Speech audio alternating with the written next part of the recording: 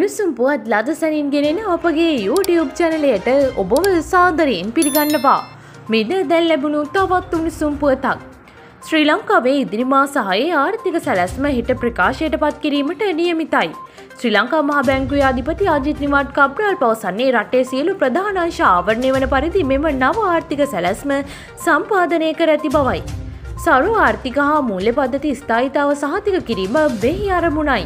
මේ අතර අත්‍යවශ්‍ය නොවන ද්‍රව්‍ය සහ උපකරණ සඳහා දැනට පනවා ඇති ආනයන සීමා හැකිතාක් දුරට අවම වන පරිදි සහන ලබා දෙන ලෙස අග්‍රමත්‍ය මහින්ද රාජපක්ෂ මහතා මහ බැංකු අධිපතිවරයාට මේ වන විට උපදෙස් ලබා දී තිබේ. ඒ අත්‍යවශ්‍ය නොවන ද්‍රව්‍ය සහ උපකරණවලට දැන්ට පනවා තිබෙන ආනයන සීමා හේතුවෙන් ව්‍යාපාරිකින් සහ ජනතාව පත්ව ඇති අපහසුතා සැලකිල්ලට ගනිමින්. මේ අතර සහල් සඳහා උපරිම මිලක් නියම කරමින් රජය නිකුත් කර තිබූ ගැසට් නිවේදනය අවලංගු කරමින් පාරිභෝගික කටයුතු අධිකාරිය නව ගැසට් පත්‍රයක් නිකුත් කර තිබේ.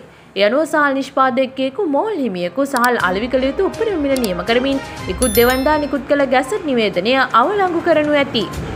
මෙවැනි උණුසුම් පුවත් ලද සැනින් දැන ගැනීම සඳහා අපගේ YouTube චැනලය සබස්ක්‍රයිබ් කර බෙල් අයිකනය ක්‍රියාත්මක කරන්න.